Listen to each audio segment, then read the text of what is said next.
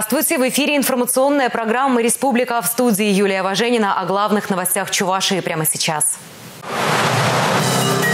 Рост на 3,7%. За последнюю неделю в Чувашии выросло количество заболевших коронавирусной инфекцией. На старт, внимание, в столице Чувашии прошли соревнования по спортивной ходьбе. 5 метров в ширину и 7 в высоту стена Республиканской клинической больницы превратилась в новый арт-объект.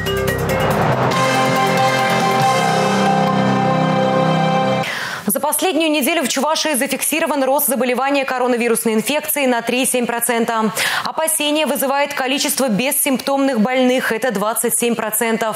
Чтобы оперативно выявить потенциальных распространителей опасного вируса, нужно в разы увеличить количество тестируемых. Подробнее в нашем сюжете. По данным на 8 октября, на лечении в стационаре находится почти 1150 жителей региона, в том числе 8 детей. 860 человек со средней тяжестью заболевания, 287 с тяжелой. На искусственной вентиляции легких находится 28 пациентов. Суточный темп прироста заболевших COVID-19 составляет 34 человека. Остановить печальную статистику можно строгим соблюдением ограничительных мер и усилением профилактических мероприятий. 118 объектов осмотрены. На двух предприятиях торговли в городе Чебоксаре и на пяти Аликовского района выявлены э, нарушения. Не проводится термометрия и дезинфекция. А также в ходе проверок работы пассажирского автотранспорта по городу Чебоксары совместно с администрацией города Чебоксары и МВД выявлено, что у ряда водителей троллейбусов, автобусов и маршрутных такси отсутствуют перчатки, антисептики для обработки рук на рабочем месте и не предусмотрен запас средств индивидуальной защиты органов дыхания для смены через каждые 2-3 часа. Пассажиры также не соблюдают масочный режим. Э, маски имели не более 50% пассажиров. Напоминаю, что в соответствии с указом главы Чувашской Республики все граждане обязаны использовать средства индивидуальной защиты органов дыхания э, при нахождении в транспорте или в местах общего пользования. Новая коронавирусная инфекция выявлена и в учебных заведениях республики. Всего за этот период период с начала учебного года выявлено 9198 участников, имеющих признаки острых респираторных вирусных инфекций. Это 6,45% от общего числа посещающих школу очно. В том числе с COVID-19 28 человек. По состоянию на 8 октября значит, в образовательной организации имеется 16 активных очагов заболеваний новой коронавирусной инфекции, в том числе в четырех детских садах, в 11 школах, одно среднепрофессиональное училище. Возможность дистанционного обучения не исключена, поэтому учебные заведения должны быть к этому готовы, отметили участники заседания. Обеспечение э, сегодня там, где нет доступности интернет, э, соответствующим оборудованием, то есть компьютерной техникой и, возможно, и программным обеспечением для того, чтобы э, ну, наши школы как бы, так сказать, были ну, готовы по максимуму к дистанционным Э, методом обучения, поскольку это и против, на мой взгляд, это и противоэпидемиологическое такое, такое мероприятие. И на самом деле, нам это и закладка, так сказать, все равно в рамках цифровизации я понимаю, что эти направления будут развиваться. Это универсальное решение, полностью соглашаюсь, потому что в любом случае э, наличие такой платформы, оно будет полезно. В любом случае дистанционные формы э, как основного образовательного процесса, так и дополнительного, они будут развиваться, они будут все больше и больше востребованы людьми и, очевидно, такие сервисы, они просто должны быть. Надо увеличить возможности для сдачи анализа всеми желающими и организовать тестирование сотрудников на предприятиях. Это позволит вовремя выявить бессимптомных больных и предотвратить распространение вируса, отметила руководитель управления Роспотребнадзора по Чувашии. Ольга Алексеева, Юрий Марков, Республика. Сейчас. Правительство Чуваши одобрило законопроект о республиканском бюджете на три года. 70% денежных средств направят на социальную сферу. По прогнозам, в будущем году доходы республиканского бюджета составят более 58 миллиардов рублей, расходы – более 61. Целевые безвозмездные поступления из федерального бюджета постоянно увеличиваются. В определенной мере это даст возможность сократить ожидаемый дефицит. Реализация национальных проектов в приоритете. В следующем году на это предусмотрено около 9 миллиардов рублей, а в трехлетнем периоде – более 26. Благодаря тем совместным усилиям правительства республики, федеральным органам власти, руководителям предприятий, организаций, все-таки, э, на наш взгляд, удалось пройти достаточно тонкую грань в решении задач по обеспечению безопасности и жизни наших граждан, но при этом по поддержке экономики, ну и с точки зрения, так сказать, бюджетного процесса, обеспечения всех первоочередных расходов, выполнения всех социальных обязательств, это и социальные выплаты, и выплаты заработной платы, мы в полном объеме обеспечили все выполнение всех принятых обязательств на бюджет.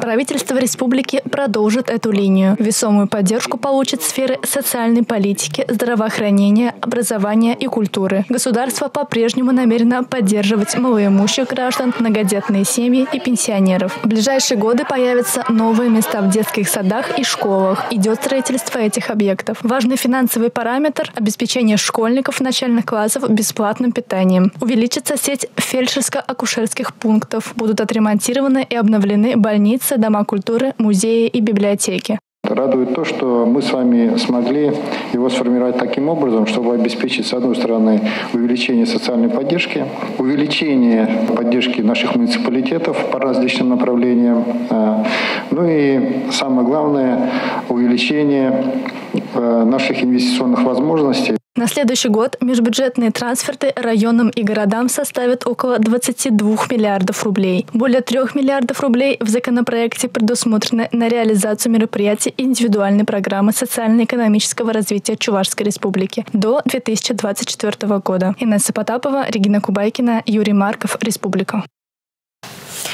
Повысить качество жизни россиян – такая задача стоит перед национальными проектами. Их в Чувашии 11. Кроме того, есть и 50 региональных. Они затрагивают все сферы жизни республики.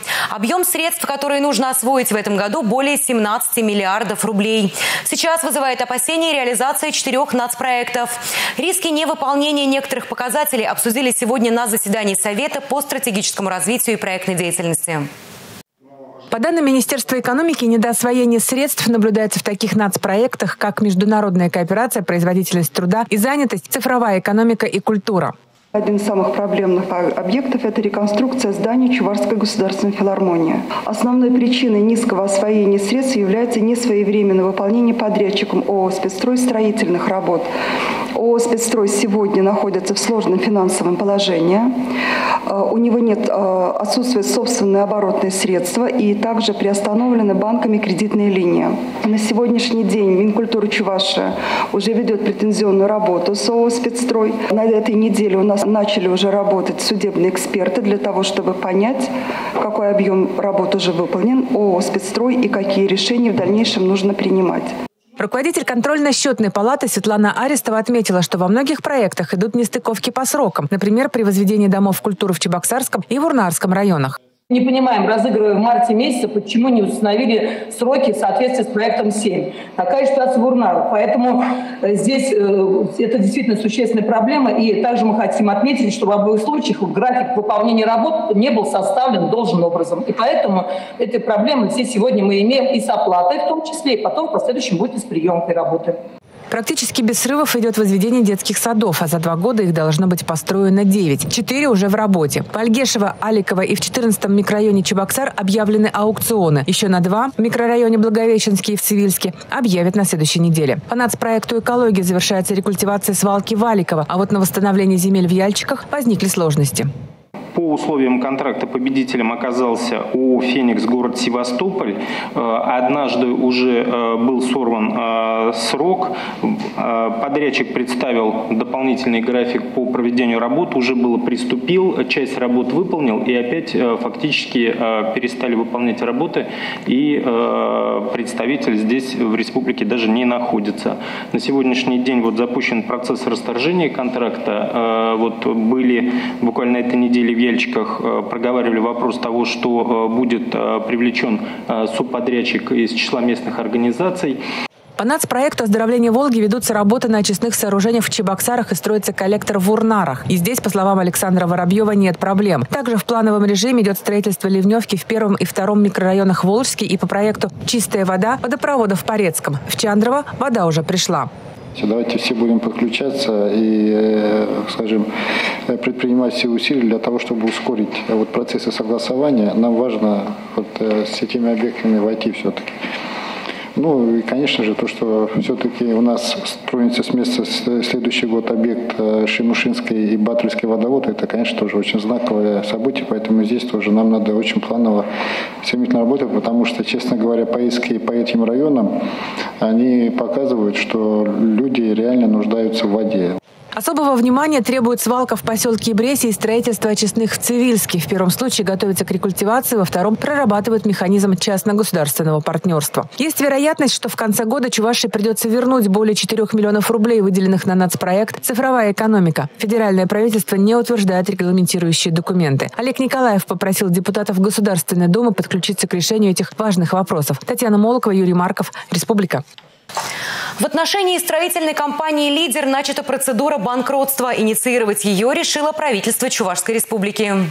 Сделано это на основании детального анализа ситуации на объектах строительства с учетом мнения дольщиков и отсутствия инвестора, который смог бы выполнить обязательства компании, сообщается на официальном сайте Минстроя Чувашии. Завершить возведение проблемных объектов планируют с привлечением средств Фонда защиты прав дольщиков. Свои средства в строительство объектов в ЖК Гагарин и Кувшинка вложили 853 дольщика.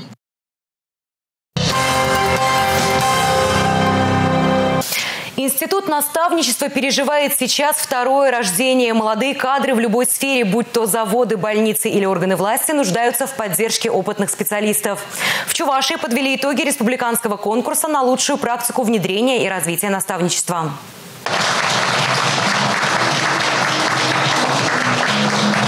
В этом году в конкурсе приняли участие 34 организации. Специальная комиссия выбрала 10 лучших площадок, соответствующих критериям наставничества. Молодежь приходит с новой энергией, с новыми желаниями, с новыми хотелками. Хочется все быстро менять, э, все по-другому сделать. И мне кажется, это взаимодействие очень э, здорово и важно для любой организации, а самое главное для тех людей, которые взаимодействуют. Очевидно, это очень важно для того, чтобы достигать более э, лучших результатов жизнедеятельности, вообще в, в трудовой деятельности и в целом жизнедеятельности. И поэтому развитие института наставничества очень-очень важно. Победителем республиканского конкурса стал комплексный центр социального обслуживания населения города Чебоксары. Директор Ренада Федорова – управленец со стажем. В этой профессии случайные люди не задерживаются, уверена она. Здесь нужен особый характер. Раскрыть его молодым помогают специалисты с опытом. Здесь давно уже работает совет наставников. При приеме на работу обращаем очень большое внимание на милосердие, на доброту, на выдержку наших работников. И, конечно, наставники э, в ходе общения наставляемыми, они всю эту работу проводят, ознакомляют организации, нормативные базы изучают, э, смотрят э, на работника, как он может себя вести, в каких ситуациях себя как поведет. На все это обращаем внимание.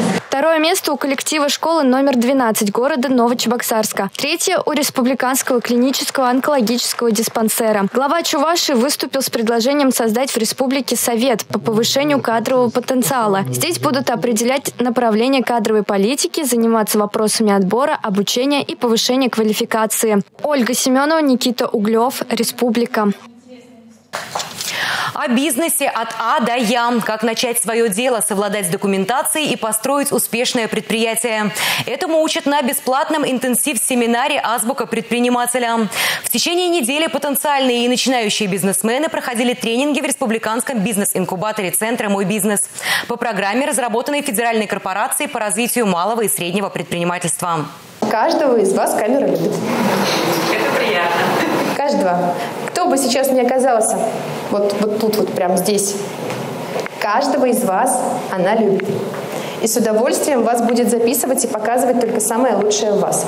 Но почему же нам тогда что-то не нравится? Как преодолеть страх камеры и начать создавать видеоконтент для продвижения своего дела? Как и этот, все тренинги курса направлены на практическое применение от выбора системы налогообложения до маркетингового продвижения. Пригласили спикера и разобрали э, блок о том, как э, продавать с Китаем Вот, то есть как выйти на продажи в маркетплейсе. Особенно сейчас в рамках пандемии это стало очень актуальной темой. А многие сейчас закупают через интернет-магазины. Сейчас предпринимательство, я, я бы сказал, уже становится в тренде. Вот, то есть молодежь и не только уже стремится попробовать себя в предпринимательской деятельности. У нас в этом году собралась э, разная целевая аудитория от молодых до э, лиц пожилого возраста. Каждый участник проходит пятидневный курс и полученные знания применяет на практике. Итог обучения – разработанный собственный подробный бизнес-план. Мне бы хотелось э, заняться производством обуви, желательно ортопедической и детской. Вот. Э, сюда я пришел для того, чтобы научиться как этим можно заняться. И, в принципе, здесь очень много знаний дается. За такой короткий период э, очень интересная команда. Э, вместе со всеми мы учимся решать различные проблемы, которые могут возникнуть в бизнесе. Татьяна Егорова планирует заниматься экотуризмом. Ее цель – в лесной глубинке открыть комплекс, где не только жители Чувашии, но и соседних республик будут отдыхать и телом, и душой вновь прийти за, что называется, сесть за парту очень интересно, потому что молодые спикеры, все течет, все меняется, сейчас тенденции совершенно другие. Мне очень понравилось, что приходят действующие предприниматели, молодые предприниматели, рассказывают о своем бизнесе. Всегда полезно посмотреть э, свежим взглядом с новой стороны, когда это озвучивается другими, более молодыми, это совершенно другой взгляд на бизнес, и много каких-то инсайтов приходит. Кроме азбуки предпринимателя, Республиканский бизнес-инкубатор совместно с Центром «Мой бизнес» реализует проект «Мама-предприниматель», а также организует школу предпринимательства. Она откроется в середине ноября. Обучать будут людей, уже открывших свое дело. Прием заявок, кстати, еще открыт. Ирина Волкова, Татьяна Раевская, Николай Скворцов. Республика. О том, что когда-то на Волге водились осетры, помнят сейчас немногие. Восстановить этот промысел решил фермер из Козловки. Эрнст Ульданов уже оборудовал целый цех, где и разводят осетровых. Подробнее Наталья Мальчикова. Идея разводить рыбу возникла у фермера давно, когда он еще служил на флоте. Изучив литературу, остановил свой выбор на осетровых. Сильная рыба очень. Вот рыба вырастает за год примерно от 3 сантиметров до 70 сантиметров. Рыба неприхотлива, а пользы масса. Мясо содержит и жирные кислоты, и большое количество нужных организму микроэлементов. Это царская рыба, то, что это редкая рыба, вкусная рыба. Сам я флотский, когда-то работал на флоте, еще попадалась стерлядь и осетры попадались в низовьях Волги. Сейчас, конечно, ничего этого нету. Сейчас разводят рыбу, чтобы почувствовать, вспомнить тот вкус. Сейчас в этих бассейнах обитает около 900 хвостиков. За год они вырастают до 2 килограмм. И рост этой рыбы до 70 сантиметров. Чтобы ее прокормить, сколько раз в день нужно кормить? Расскажите, пожалуйста, Эрн. Ну, кормим мы а, пять раз в день равными частями, специальным кормом гранулированным. Для того, чтобы с 5-граммового малька размером в полмизинца рыба набрала массу до 2,5 килограмм, требуется еще и немало времени, усилий и знаний. Малька мы привезли из Астрахани официально из э, научно-исследовательского института.